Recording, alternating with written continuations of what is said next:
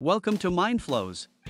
In the ever evolving landscape of team collaboration, Monday.com presents a game changer the vote column.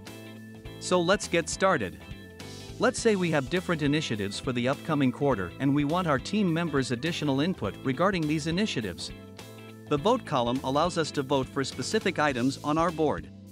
To add the vote column, click the three dots of the column header where you want to place it beside. On the column center, search for Vote and click Add to Board.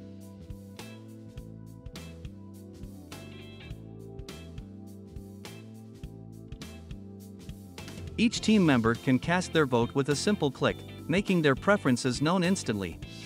The vote column's real-time feedback gives you an overview of the most chosen items and allows you to make informed decisions swiftly. No more endless email threads or confusing chats to know about your team's ideas. Easily mention a team member to cast a vote. If you votes for the item by mistake, a second click on the same item removes your vote. And the total votes are displayed at the column's bottom. Whether you're planning your next project, choosing a marketing strategy, or just deciding on the Friday lunch spot, make every vote count with Monday.com's vote column. Follow us for more tips. We're Mindflows, a certified Monday.com partner.